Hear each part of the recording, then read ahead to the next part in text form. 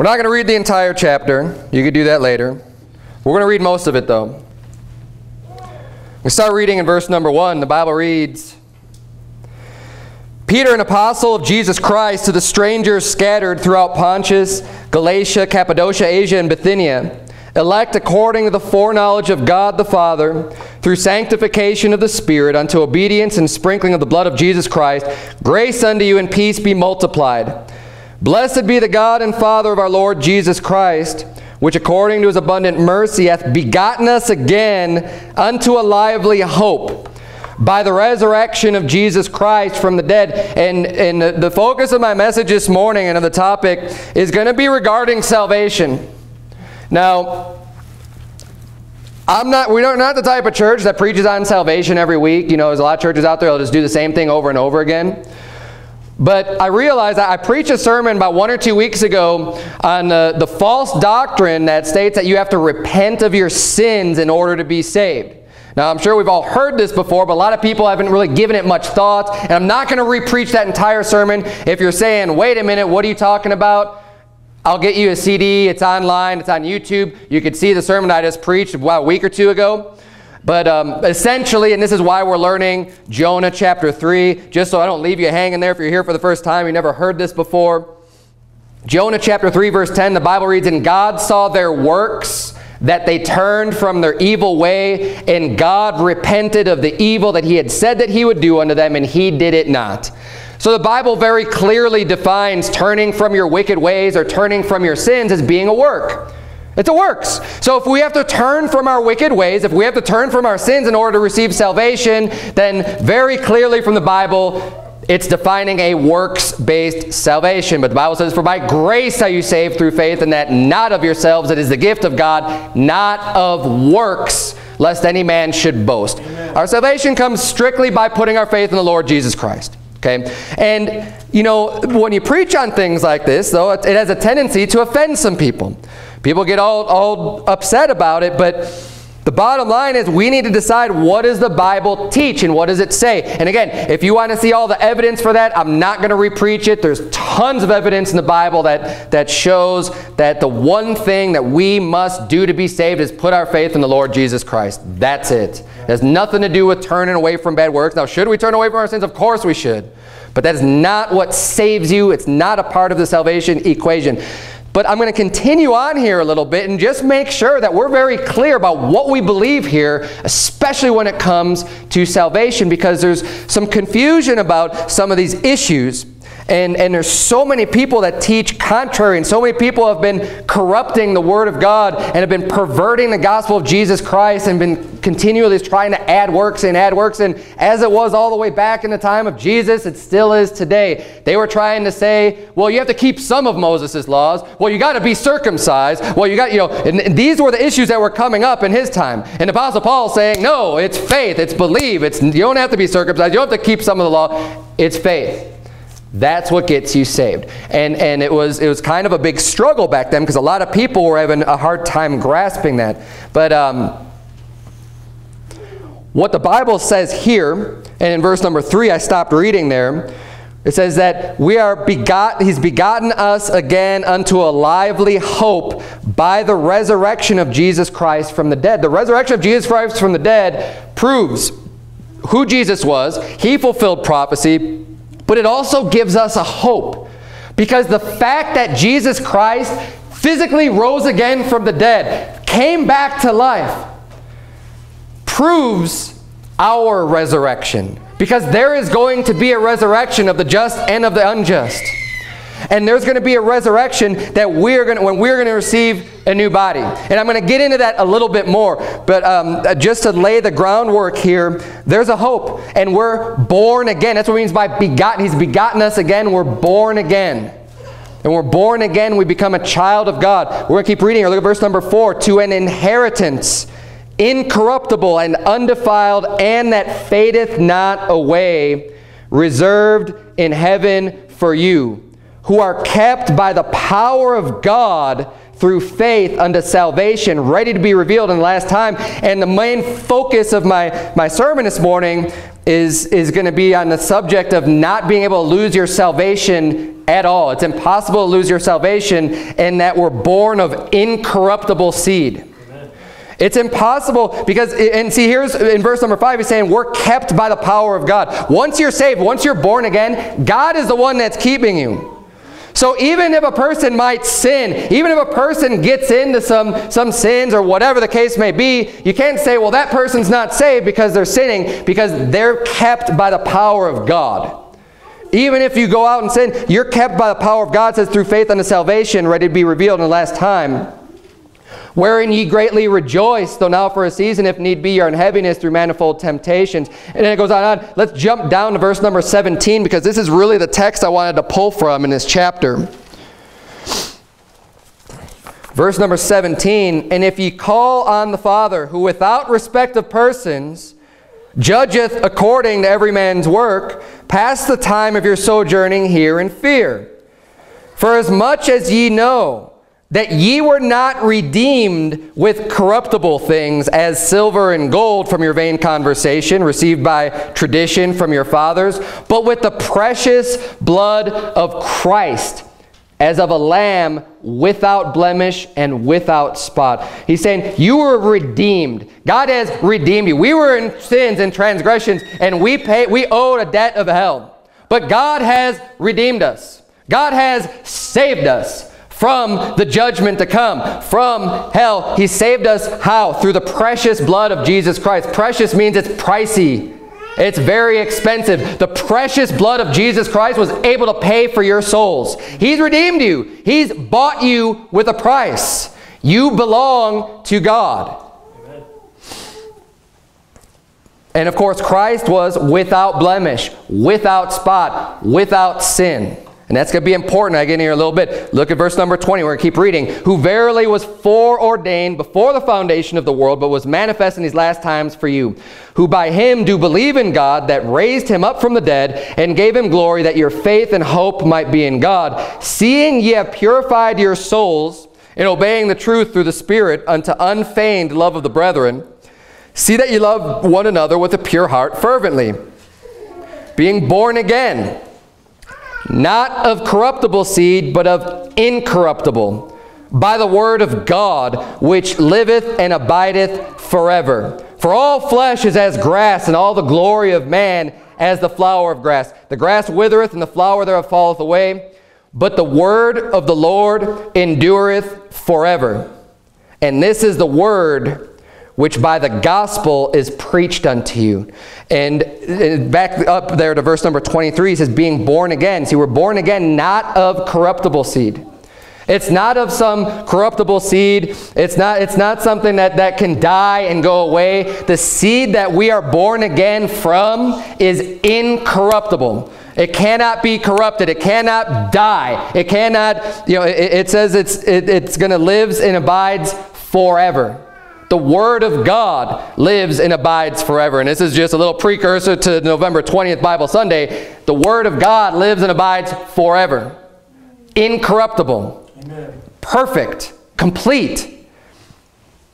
But that Word, that same Word, that Word of God is what brings that seed into a person's heart that you need to receive, that you need to believe on in order to have new life, in order for that new creature to be born, in order to be born again, to get that new spirit. And that spirit is born of an incorruptible seed. It's perfect. Our flesh is born of corruptible flesh. When we're born into this world, we have a mother and a father, and they're sinners. And there's a sin nature that we're born into when we're born the first time. But the second birth is a spiritual birth. The second birth is born of an incorruptible seed.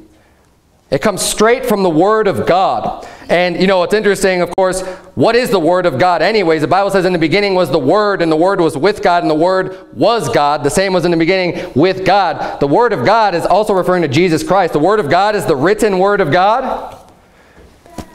Jesus Christ is called the Word of God. He was the Word made flesh. Jesus Christ embodies, and that's, you know, try to wrap your mind around that. It's an amazing thing, but it, the, the Bible doesn't use the name the Word uh, for no reason at all. Obviously, it has a meaning. It's referring to Jesus Christ. Jesus Christ embodies all of God's Word the whole Bible, he is the embodiment in, in the physical, the, the, the spiritual uh, representation and being, living out God's Word. Right. And just as much as Jesus Christ was without spot and without blemish, God's Word is without spot and without blemish. And we need, just as much as we need Jesus Christ for our salvation, we need the Word of God for our salvation. Romans 10 says that faith cometh by hearing and hearing by the Word of God. Our faith comes when we hear God's Word and God's Word gets sown into our hearts.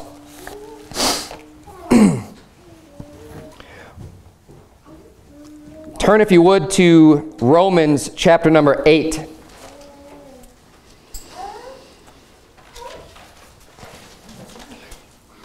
And just going along that same line of the Word of God being that seed in, in, Luke 8 is one of the examples in the Gospel of the, of the parable of the sower.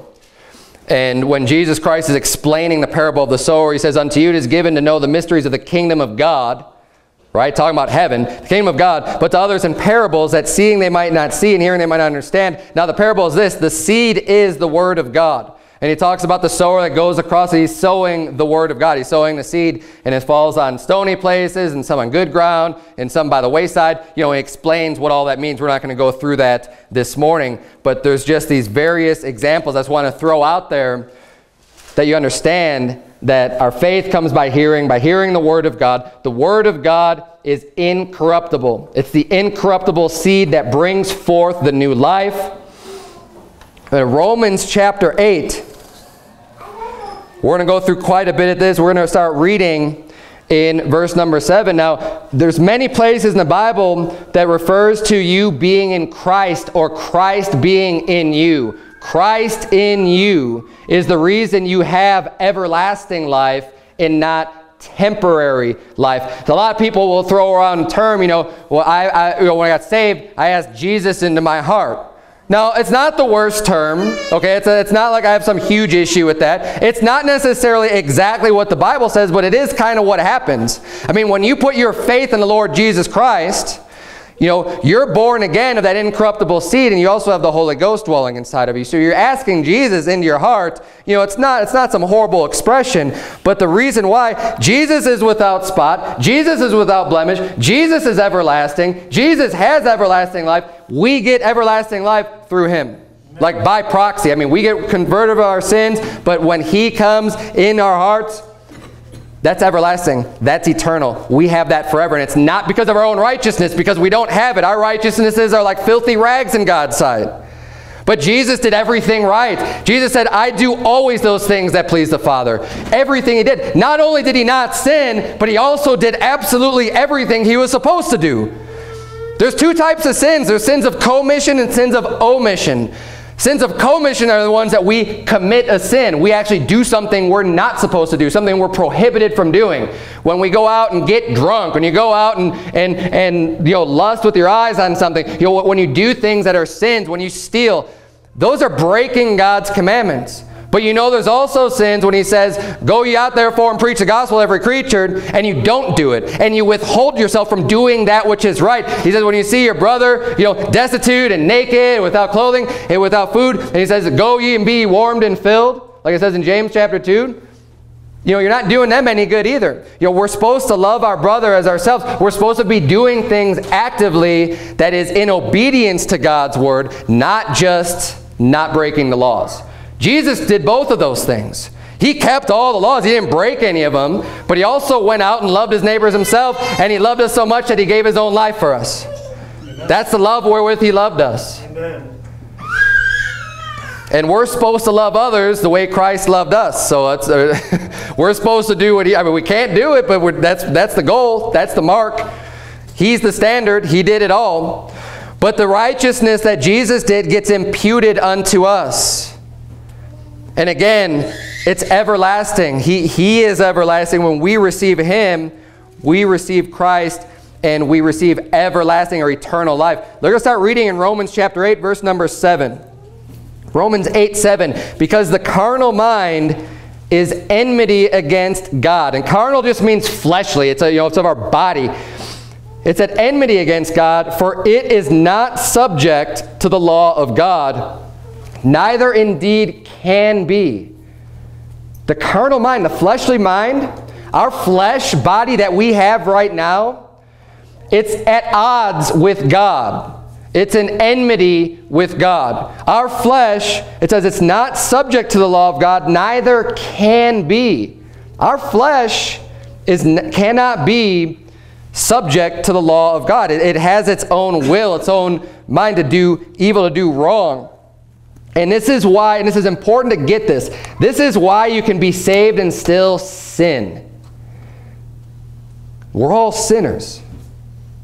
Jesus Christ gives us the atonement for our sins. Jesus Christ gives us eternal life as a free gift. Jesus Christ comes and dwells inside of us. But the flesh, as long as we remain in this flesh, we will still have sin. We will still be sinners. We will still do that which is wrong. And we're going to go on and continue with this chapter. This chapter does a great job of explaining this concept. Verse 8, so then they that are in the flesh cannot please God. If you're walking in the flesh, you're not pleasing God at all. Verse 9, but ye are not in the flesh, but in the Spirit, if so be that the Spirit of God dwell in you. Now, again, this is defining the terms because the uses the words walking in the flesh, walking in the spirit in different ways in different sections of the Bible. So important to get in context. Right here is saying, you are not in the flesh, but in the spirit if the Spirit of God dwells in you. If you're born again, you got the Spirit of God dwelling in you, then you are not in the flesh. For, this, for the context of what we're talking about here. Now, if any man have not the Spirit of Christ, he is none of his. If you're not born again, if you don't have the Spirit of Christ, you aren't it. You're not, you're not a child of God. You're none of his. You have nothing to do with him. Verse 10, And if Christ be in you, the body is dead because of sin, but the spirit is life because of righteousness. And again, this is important in understanding the concept of eternal life. That it truly is forever because it's all about the spirit. It has nothing to do with your flesh. The flesh can't please God anyway, so it has nothing to do whether or not whatever you're doing in your flesh know, your flesh is going to cause you to sin. The Spirit, if you have Christ, if you have the Spirit, you are born again. You have eternal life. Verse 11, But if the spirit of him that raised up Jesus from the dead dwell in you, he that raised up Christ from the dead shall also quicken your mortal bodies by his spirit that dwelleth in you. Therefore, brethren, we are debtors, not to the flesh to live after the flesh, for if you live after the flesh, you shall die. But if ye through the Spirit do mortify the deeds of the, the body, ye shall live. And that's talking about physical death physically, you know, if you're not, if you're going to live after the flesh, you're going to die. If you just continue, just go and live a life of sin, you're going to die. But if you, through the Spirit, mortify the deeds of the body, you shall live. And it says there, we're debtors. Of course we're debtors because our debt has been paid for. So we should not go, be, you know, Jesus Christ paid because of the results of us living in the flesh. Because of the results of our fleshly actions, our fleshly sins, he paid for all that. So we owe him. I mean, we're debtors to him. He paid the whole way. So we shouldn't just go and continue in the flesh since he already paid for that. We need to be walking in the Spirit. Look at verse number 14. For as many as are led by the Spirit of God, they are the sons of God. For ye have not received the spirit of bondage again to fear, but ye have received the spirit of adoption, whereby we cry, Abba, Father. The Spirit itself beareth witness with our spirit that we are the children of God. And if children, then heirs, heirs of God and joint heirs with Christ, if so be that we suffer with him, that we may be also glorified together. Now, the Bible, I believe, uses many um, references and explanations of, of deeper concepts in ways that we could understand. For example, when the Bible calls, uh, the Bible says, for the wages of sin is death, but the gift of God is eternal life through Jesus Christ our Lord. The concept of a gift, we understand that. We, we, we, you know, people give and receive gifts all the time. We, we understand the concept that a gift cannot be a gift if you're charging for it, right? If I say, I want to give you this gift, but you got to give me a dollar, that's not a gift. We know that's not a gift, that's a sale. We know that, that a gift has to be free of works. If I were to say, hey, I want to give you this, this Bible as a gift, but you got to go out and, and wash my car and clean my house. Well, that's not a gift. You're earning it. You're working for it. We, we get these concepts. They're basic concepts. They're simple. And these are the types of things I love to use at the door or in any situation when I'm trying to give the gospel to somebody because we get these concepts, and the Bible uses these types of words on purpose so that we can understand it. The Bible uses terms of being born again, being children of God, whereby we cry, you know, unto God, Abba, Father. Because we understand that relationship. We understand that when you're born into a family, you've got one birth. You're born in that family, and you can't change that once you're born into that family. You can't change who your parents are. Your parents can't change who you are. They lead you and guide you and try to direct you. But once you're born into a family, you cannot be unborn. It's impossible. And it's the same way with eternal life. When you're born again, when you put your faith in Christ, you become a child of God. The Bible says, But as many as received him, to them gave he power to become the sons of God, even to them that believe on his name. When we believe on the name of Jesus Christ, we become a son of God. We are born into God's family. Our spirit is born again. We're born into God's family. He becomes our father, and we become his children. In the same way that any loving father is going to discipline his children when they break their commandments, God will do that to us. But the same way that no loving father is going to throw his child in the oven and turn it on broil and leave him in there forever, our heavenly loving father isn't going to do that to his children either by casting them into hell. It's not going to happen. It's, it's, it's, it's all, and that punishment has already been bought and paid for through Jesus Christ. That is done. It doesn't mean he just says, okay, we'll just go and do whatever you want and there's no consequences for it. That's ridiculous. The Bible says you're going to reap what you sow. You sow to the wind, you're going to reap the whirlwind. That's a fact. That's a true statement. That goes for believers and unbelievers. But once you're born into the family and God's your father, you can't be unborn. And it says here, and if children, then heirs. And see, that's a good thing about an inheritance, being an heir. That's not based on your works. It's based on your genealogy. It's based on who your predecessor is. You know, the, the heir is like, my father will leave things to me as an inheritance because I'm his heir, because I was directly descended from him. No other virtue than that. It's just, I'm his descendant. So because of that, I'm an heir. And with God, it's the same way. Now, because we've become adopted children, because we become born again, we are now heirs of God and joint heirs with Christ, the Son of God. The, the only begotten of the Father, Son of God, born in the flesh here, Jesus Christ. Because he's in us, we are now joint heirs with him. Let's keep reading here at verse 17. And if children, then heirs, heirs of God, joint heirs of with Christ, if so be that we suffer with him, that we may be also glorified together. For I reckon that the sufferings of this present time are not worthy to be compared with the glory which shall be revealed in us. For the earnest expectation of the creature waiteth for the manifestation of the sons of God. For the creature was made subject to vanity, not willingly, but by reason of him who hath subjected the same in hope, because the creature itself also shall be delivered from the bondage of corruption into the glorious liberty of the children of God. For we know that the whole creation groaneth and travaileth in pain together until now, and not only they, but ourselves also, which have the first fruits of the Spirit, even we ourselves groan within ourselves, waiting for the adoption, to wit, the redemption of our body. So he's going on to say there, and you know, there's kind of a lot going on here in those verses 19 through 23.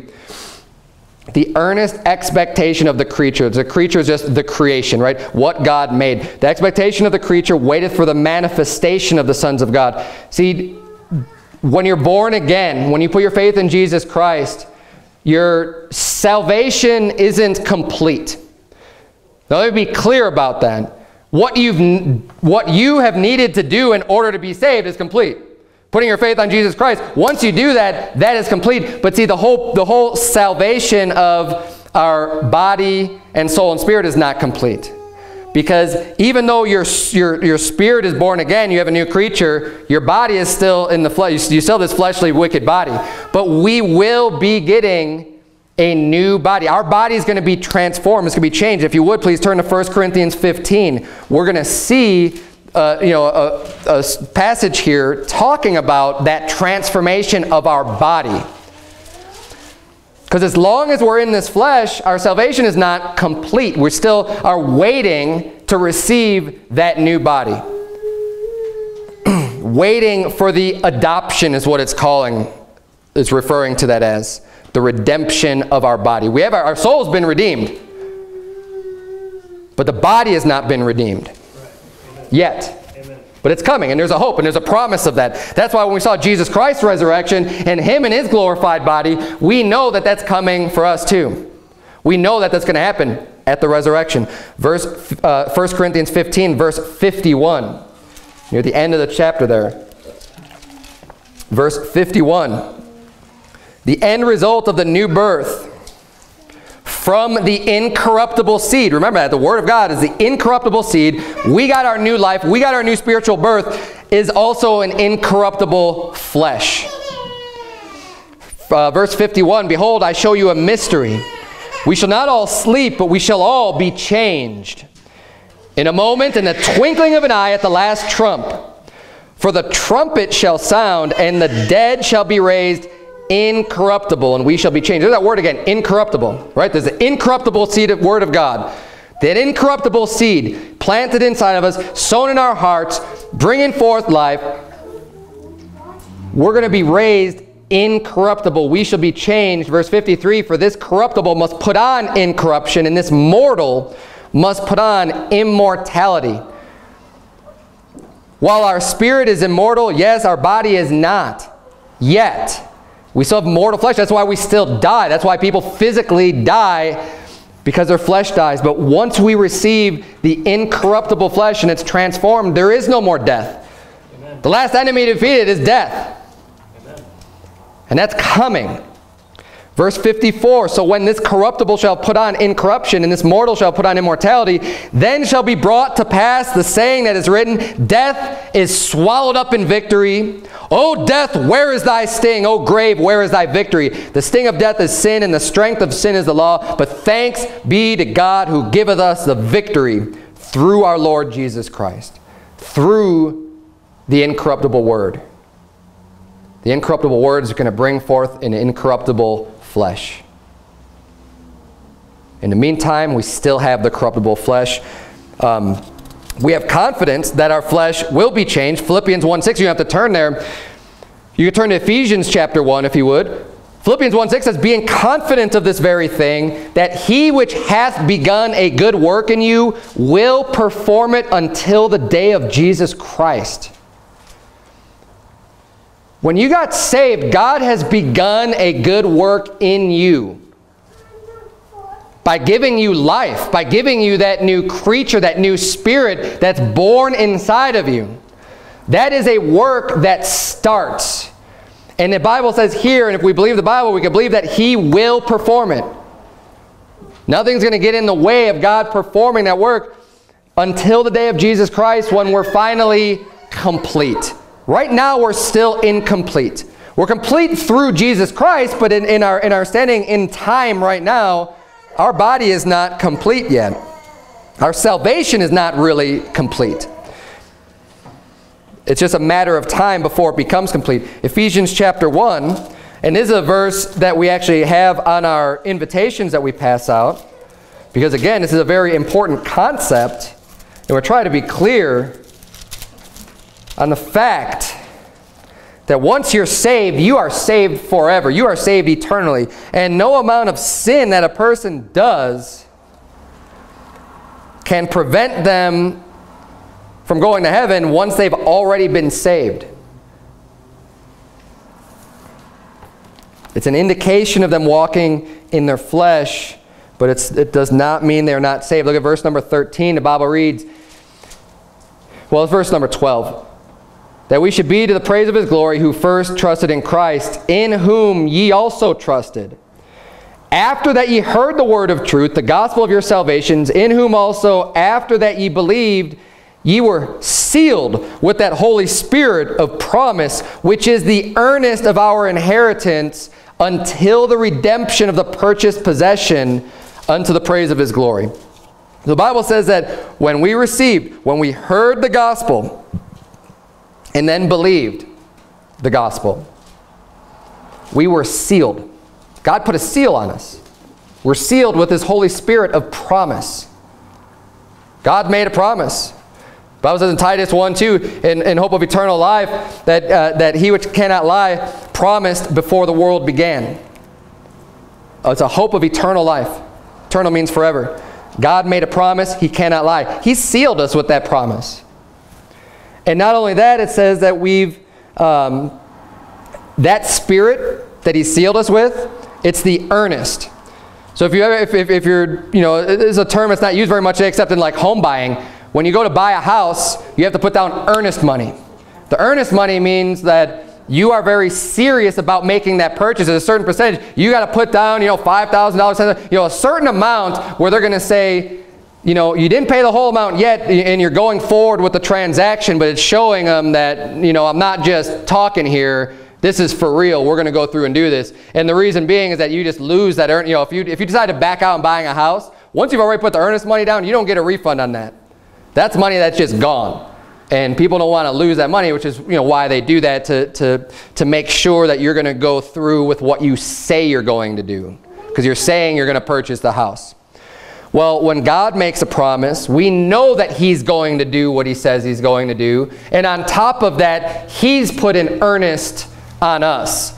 The earnest of the spirit of promise that, that he's given to us. That is the earnest of our inheritance, the Bible says. That we are going to inherit from God until the redemption of the purchased possession under the praise of his glory. Turn back, if you would, uh, just a couple pages to Galatians chapter 5.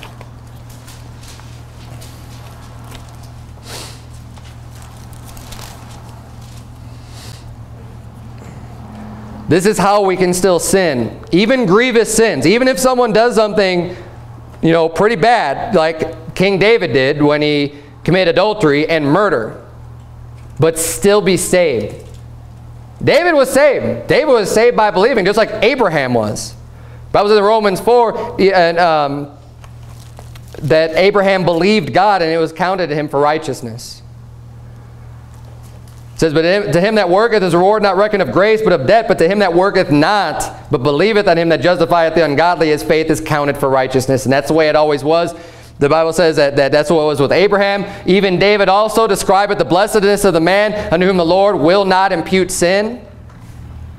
David knew that. David knows that there's, there are people that God will not impute their sins to them. Why? Because they've been saved by grace. They've been saved by putting their faith in the Lord. Galatians 5, verse 16. This I say then, walk in the Spirit, and ye shall not fulfill the lust of the flesh. For the flesh lusteth against the Spirit, and the Spirit against the flesh. And these are contrary the one to the other, so that you cannot do the things that ye would. And again, keep in mind that word will and would, it's your intent. It's what you want to do. We kind of use those words today as like should, or am going to do. Like, but, but the words will and would. So he says at the end of verse 17, so you cannot do the things that ye would. It means that you want to do. That you can't do the things that you really want to do. You can't do that when you're walking in the flesh because the flesh is contrary to your spirit. You're born again. That spirit, that spirit is what's driving you to do what's right. The spirit is telling you, hey, let's serve God. Hey, let's read the Bible. Hey, let's pray. Let's do all these good things. That new spirit that's born of the incorruptible seed is, is pushing you in that direction, saying, let's do this good stuff. But your flesh is the exact opposite. It's saying, no, I want to sleep. No, I want to go get drunk. No, I want to go, you know, look at things. I want to be, whatever the case may be. Your flesh is driving you. This is the contrary. So you have this daily battle and this daily struggle. This daily struggle is not a struggle for your salvation. It's a struggle because of your salvation. The struggle is even there to begin with because now you've got the Spirit. Before you got saved, you didn't have that new Spirit. And you cannot please God until you're born again, until you believe that He is God. Turn, if you would, to Romans chapter 7. But this is the explanation. This is what we need to understand of how a person can be saved and still commit sins because a lot of people try to point to that and say, oh, you know, you people that believe in eternal security, you believe that once saved, always saved. What about these people who are still sinning and all this other stuff? Look, God knows their heart, first of all. I don't know their heart. I mean, if I see somebody that's just living a full life of sin, it may be a wise thing for me to assume that they're not saved, and the reason being is because if I'm thinking that, then I'm going to try to give them the gospel. Because that's what I should do anyways. Now, if they are saved, what damage or hurt does it do to give them the gospel? Nothing. Great, they're saved, right? But if, they, if they're not saved, then maybe they'll get saved, right? Maybe, but the thing is, you cannot just say that a person, you know, you can't just say, well, if they're not doing good things, then they're not saved because they could just be walking in their flesh. We have a two parts right now with the spirit and the flesh. The spirit's going to do what's right. The flesh is going to do what's wrong. And depending on which one you are walking in in any particular moment is what you're going to be doing. If you're walking in the spirit, you can't be in the flesh. And if you're walking in the flesh, you can't be in the spirit. The two are completely exclusive of each other. It's one or the other. It's hot and cold. There is no middle ground of I'm kind of in the spirit and kind of in the flesh. It's one or the other. You're doing what's right or you're not doing what's right. And if we examine ourselves, you'll probably find that more often than not, you're walking in the flesh and not in the spirit. Did I have you turn to Romans 7? Yes. Romans 7, we're going to start reading verse number 1. This is a critical passage. We're almost done, sort of. Romans 7. Look at verse number 1. Know ye not, brethren, for I speak to them that know the law, how that the law hath dominion over a man as long as he liveth. And again, the law is the reason why we even sin. Sin is the transgression of the law. That's what sin is. God said not to do it, we do it. That's a sin. So explaining here, look, I'm speaking to them that know the law, is who he's talking to here. The law hath dominion over a man as long as he liveth. For the woman which hath an husband is bound by the law to her husband so long as he liveth. But if the husband be dead, she is loosed from the law of her husband. So then, if while her husband liveth she be married to another man, she should be called an adulteress. But if her husband be dead, she is free from the law, from that law, so that she is no adulteress, though she be married to another man. Wherefore, my brethren, Ye also are become dead to the law by the body of Christ, that ye should be married to another, even to him who is raised from the dead, that we should bring forth fruit unto God. And before I go any further, again, he's using an illustration. He's using an example of saying, you know what? When two people get married, a man and a woman, they make vows to each other till death do us part. Right? That's your vow. And the Bible saying, you know, what God hath joined together, let not man divide asunder. No, man, man shouldn't be breaking apart those marriages. And he says, because your marriage is supposed to be until death. When people get divorced and remarried, there's still that law saying she's going to be called an adulteress because that first husband that's not really broken there. And again, I'm not going to get too far into the, the, the, the, nuances of, of this doctrine. But he's just using this as an illustration saying, you know, once the husband's dead, once she becomes a widow, great, go ahead. You know, that law, that's, that's done. Until death was part, okay, it's completed. Now you're free to get married again to whoever you want. And he's explaining that and illustrating that, saying, okay, you are dead to the law, the law of God by the body of Christ because Christ freed you from that law. When Christ paid the penalty of the law for your sins, you're no longer bound by that.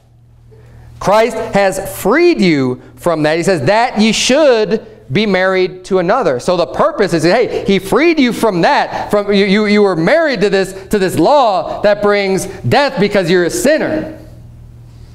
And you deserve, the, you know, you're headed straight into hell. Hey, Christ came and paid that for you. He fulfilled that, that you should be married now to him that you should be married to him and, and, to do the good works and, and, bring forth fruit unto God. He's saying that's what you want to do. Hey, now you're married to, to, to, Jesus. and now you need to be doing good and being a good, a good spouse, if you will, in the, in the light of this illustration, right? Verse number five, For when we were in the flesh, the motions of sins, which were by the law, did work in our members to bring forth fruit unto death. But now we are delivered from the law, that being dead wherein we were held, that we should serve in newness of spirit and not in the oldness of the letter. And again, notice the words should. And that's why I'm you know, pointing out the words. You know, would versus should versus must. Right? Should is something you should do. It's things that this is what you're supposed to do. It doesn't mean it's an automatic that you are going to do it no matter what. But you should. Right? The Bible says, what must I do to be saved? And they said, believe on the Lord Jesus Christ, and thou shalt be saved in all thy house. Right? That's what you must do. Here it's saying once you're, you know, delivered from the law, what should you do? You should walk in newness of spirit. Amen and amen. Of course we should. But it doesn't mean you're always going to. And see, this is the key. A lot of people get this confused. You say, well, that person says they're saved, but they're still drinking. This person says they're saved, and they're still doing this or doing that. Well, they should be walking in newness of spirit. That's right. They should. They should be giving that stuff up. They should be turning from those sins. They should be doing what's right. Yes, they should. But it doesn't say that they are they're automatically just going to do that. Verse number 7, what shall we say then? Is the law sin? God forbid.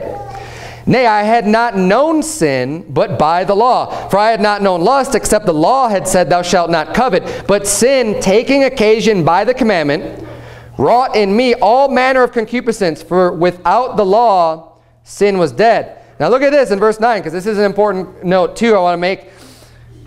He says, For I was alive without the law once, but when the commandment came, sin revived, and I died.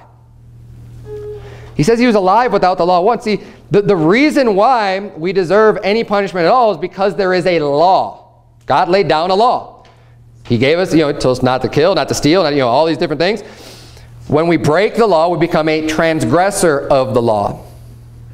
And that's why we need to be born again. That's why we need that punishment paid for us. But what he's explaining here is that there was a time in the Apostle Paul's life. Now, he was born after the law of God was given right? So he's not talking about some time period before the law of Moses or something like that. No, he says, I was alive once without the law. But when the commandment came, sin revived and I died. And this is, this, I believe this firmly, and I believe the Bible teaches this, that there comes a point in our life from the time of birth up to a certain point where we reach an age of understanding or an age of responsibility or accountability, whatever you want to call it, that any child, any infant, anyone, any child that dies in the womb, they go straight to heaven because they're not sinners. Because they're alive. They were alive without the law. They don't know, they have no idea, no concept of the law. They don't even understand anything about it. They can't do right or wrong. They're not going to be held to the, to the accountability of the law when they have no concept of it whatsoever. It's when the law, when the commandment comes, that's when you have the opportunity to, to break the commandment, sin revived, and I died. And it's the same way, you know, the Bible teaches us going all the way back to Genesis. In the Garden of Eden. He told Adam and Eve, of all the trees of the garden you may freely eat, but of the tree of the knowledge of good and evil you may not eat. And for in the day that you eat thereof, you shall surely die. Right? That's what he told them. He says, the day that you eat of that tree, you are going to die. Now, did Adam and Eve eat of that tree? Yes, they did. Did they die? Yes, they did. Did they die physically? No. They didn't just fall down dead on that day. They were still alive talking to God. They had to die because God said that they would surely die. He didn't change that at all. What happened? Their spirit died. They were alive once without the law. The law they had a real easy law. too. They had one, one commandment in that law. Don't eat of that tree. The commandment came, sin revived, and they died when they broke that commandment. That was their sin. They transgressed. They broke that law. They died. Anybody, everybody is born or is created alive with a, a live spirit. Once they, you know, and, and, I, and I don't know when this happened in an individual. God knows when that is. When someone gets to a, a point where they can comprehend things enough to know what sin is, to know, you know, to understand the law, at least in some rudimentary sense of right and wrong, then that's when you become a sinner. That's when your spirit dies, and that's when you need to be born again. That's when you need that new life. He said, without the law, sin was dead. Uh, verse number 10, let's keep reading. And the commandment which was ordained to life, I found to be unto death. And see, the commandments, God's commandments are good for us. The commandments are unto life. You, you keep all the commandments, that's great. I mean, that's, Jesus Christ did it, right? And they were good. They're ordained to life. But I found to be unto death. Why? Because he broke them. For sin, taking occasion by the commandment, deceived me, and by it slew me. Wherefore the law is holy, and the commandment holy and just and good. Was then that which is good made death unto me? God forbid. But sin. He's not blaming the law. He's not saying like the, the law is not bad. The law is not sin. The law is not evil. The law is the law. He says the law is actually good. The law is something that's good for us to follow. But see, the sin deceived me. Sin comes in and says, hey, you know what? This is actually more fun. Hey, you should actually do it. Hey, that's not that big of a deal. Yea, hath God said that you shall surely die? Hmm? Satan deceiving. Isn't, isn't this a good tree? Hey, he knows that when you eat that, you're going to be like gods. You're going to know all this stuff. Let's See, it's a good tree. And sin deceived him. And by it, slew him. And that's what happens with us. Whatever the case may be hey, I could get away with this if I just tell a lie. Did you do this? No, I, I didn't do that. It's a deception. Thinking that you're going to get away with stuff, but you're not. You tell a lie, you might get away with it for a little amount of time, but you're never going to get away with it from, with, from God. God sees everything. God knows everything. Uh, let's keep reading here. Verse 13. Was then that which is good made death unto me? God forbid. But sin that it might appear sin, working death in me by that which is good, that sin by the commandment might become exceeding sinful. For we know that the law is spiritual. But I am carnal, sold under sin. And again, this is the Apostle Paul. He's saved. He's writing this letter to the Romans later in his life. And he right here is saying that I am carnal, sold under sin. The born-again believer saying, I am carnal. Verse 15, For that which I do, I allow not. For what I would, and again, there's that word would. For what I would, that do I not. But what I hate, that do I. If then I do that which I would not, I consent unto the law that it is good. He's saying, I'm going to go through this slowly because it's kind of it can be tricky if you, if you don't slow down a little bit.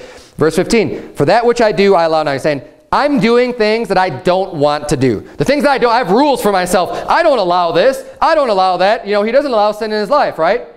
But he still ends up doing them. For what I would, the things I want to do, he says, I'm not doing that. I mean, how many, how many of you people think, man, you know, I really want to read the Bible. Man, I know I need to pray. I know I need to do this. All these great things you know you want to do. And you really want to do them in your heart. And you, you know, you know your heart. Your heart's saying, man, I really want to do all these things. And then, like, maybe you have a whole day plan. You're like, man, I'm going to do this. I'm going to serve God and do this. And then at the end of the day, you look back and you're like, what did I do? Right. What, how, how did I not do these things? I mean, I want, this is what I wanted to do with my day. What happened? This is what he's talking about. But that what I hate, that do I. I'm doing the things I hate. I didn't want to do it all. I ended up doing that. If then I do that which I would not, he's saying, if I end up doing the things that I didn't want to do, hey, the law is still good. It's not the law's fault that I screwed up. It's not the law's fault that I'm walking in the flesh. The law's still good.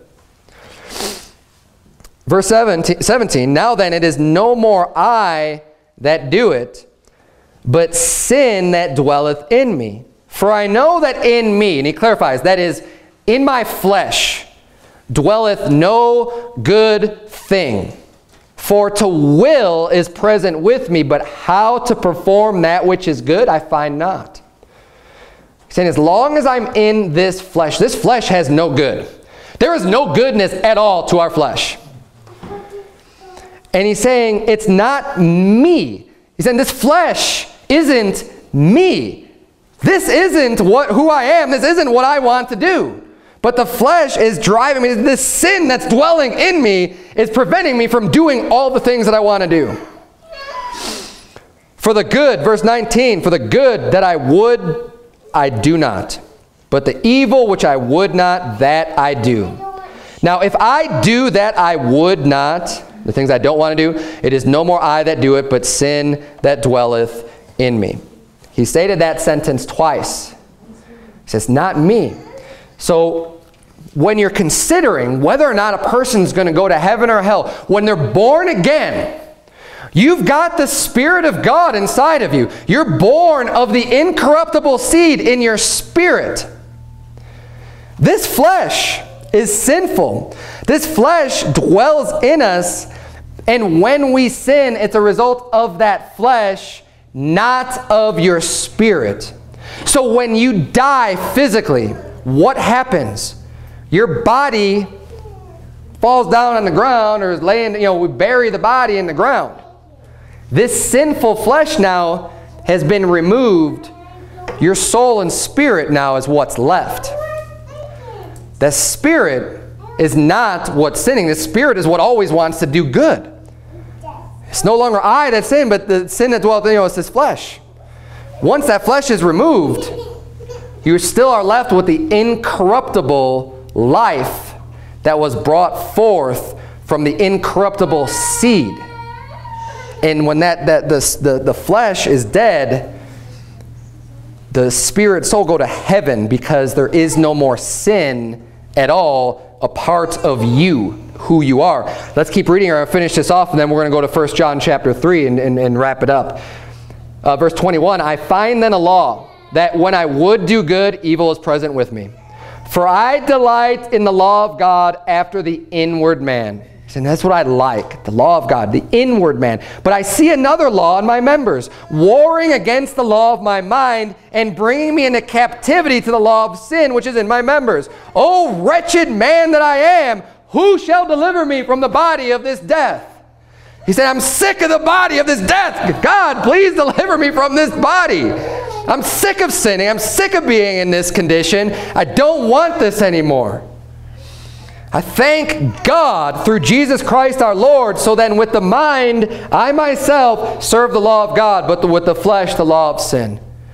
It's a daily battle, a daily struggle. Sometimes people are losing this battle to the flesh. It doesn't make them unsaved. Right. If they have the Spirit of God because they put their faith in Christ, then they're His. They've been redeemed. It's incorruptible. You cannot corrupt, you can't taint that. No sin could get in and, and corrupt that spirit. Can't happen. But you still have this flesh. And this flesh is going to drive us to do what's not right. Turn, if you would, to 1 John chapter 3, all the way near the end of the Bible. Again, if you're going backwards from Revelation, you're going to have Revelation, then the book of Jude, then 3 John, 2 John, 1 John. 1 John chapter 3, this passage sometimes causes troubles with new believers because you have to understand the whole, just the way things work. And, and, and you know, it's not a difficult concept. It is a mystery, but it's not a difficult concept. But you do have to have knowledge of, you know, the entire Bible pretty much to kind of put all this stuff together. And, um, well, just to start off, in, in verse, in chapter number one, see, the, the, before we even get to chapter three, chapter number one, verses 8, 9, and 10, we start, the, the Apostle John starts off his letter making this clear. Look at verses 8, 9, 10 of chapter 1. If we say that we have no sin, we deceive ourselves and the truth is not in us. If we confess our sins, he is faithful and just to forgive us our sins and to cleanse us from all unrighteousness. If we say that we have not sinned, we make him a liar and his word is not in us. He's being real clear right off the bat, saying, look, we're sinners.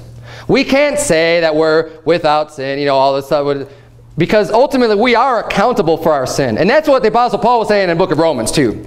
He, was, he wasn't saying he wasn't accountable for it, because he says the law is still good. But what he's saying is that that's not what he wants to do. That's not the inward man talking there. That's the flesh.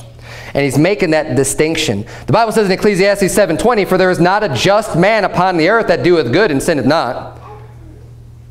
We're all sinners. And you're sin, even after you're saved, you know, you still commit sin. But what we're going to see here in 1 John chapter 3, he's going to go on to explain in a little bit more detail the inward man. That new creature, what Paul was explaining in Romans 7. Look at uh, 1 John chapter 3, verse number 4, where we're going to start reading here. Verse number 4, Whosoever committeth sin transgresseth also the law, for sin is the transgression of the law. There's our definition of sin. It's when you break God's law. Verse 5, And ye know that he was manifested to take away our sins, and in him is no sin. Christ had no sins. He, was, he came, he was manifested in the flesh in order to take our sins away. Whosoever abideth in him, look at this verse 6, Whosoever abideth in him sinneth not.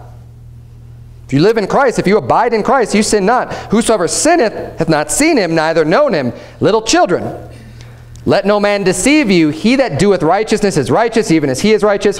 He that committeth sin is of the devil, for the devil sinneth from the beginning. For this purpose the Son of God was manifested, that he might destroy the works of the devil. Look at verse number 9. Whosoever is born of God doth not commit sin. Doth not commit sin. You say, well, wait a minute, I sin. Does that mean I'm not born of God? Could keep reading the verse. For, why? Why does he not commit sin? For his seed remaineth in him, and he cannot sin because he is born of God. Amen. It's the Spirit that is born of the seed, of the incorruptible seed. Right. That Spirit cannot sin. Amen. And that's what he's saying right here. It cannot sin. Be why? Because it's born of God. Because you have, just as with your parents, when you're born of your parents, there's that DNA mesh, right? Your mother and your father, that DNA comes together and, and comprises, it makes up who you are.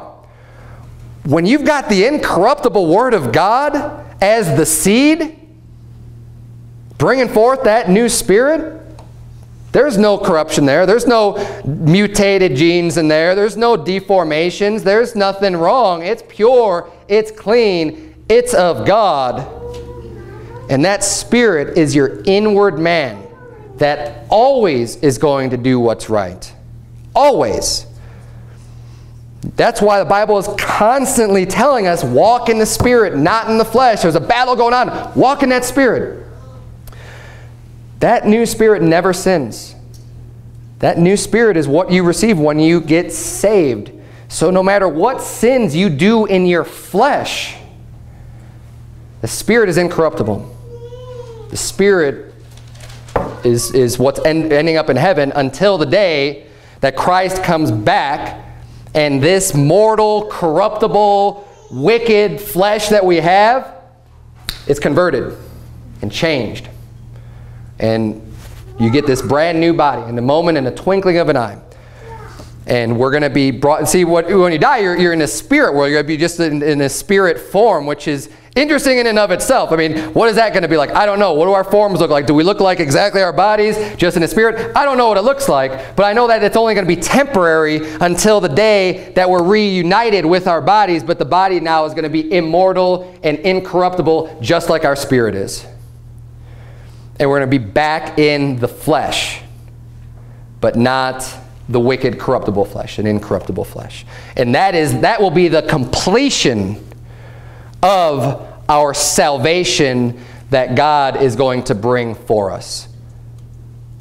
It's going to happen. There's no, there's no changing it. Once you're born again, once you put your faith in Christ, that is the course of events, and nothing's going to change then.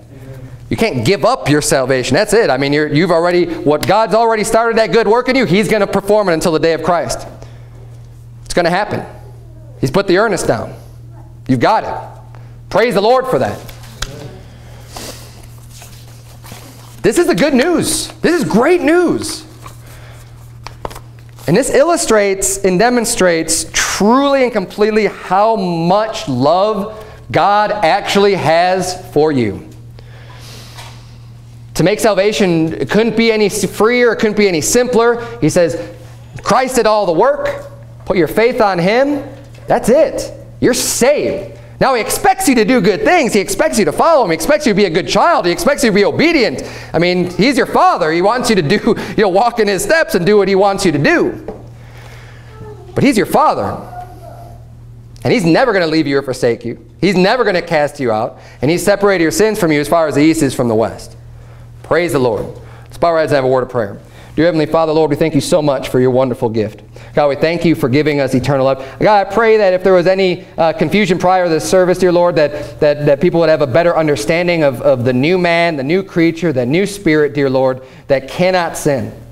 That you said cannot sin. And that, uh, and that we believe. We believe your words, dear Lord. We believe that uh, our bodies is are going to be changed at the, at the resurrection, dear Lord, when Jesus Christ comes back. And we pray that you would please just uh, help us in the meantime, while we still do have this flesh. I pray that you please help us to strengthen our spirit, that we're continuing to walk in the spirit more often and, and mortifying, killing the deeds of our flesh and making our flesh weaker and weaker and weaker so that it has less and less control over us, dear Lord, that we could do the things that we actually want to do, dear Lord. In Jesus' name we pray. Amen.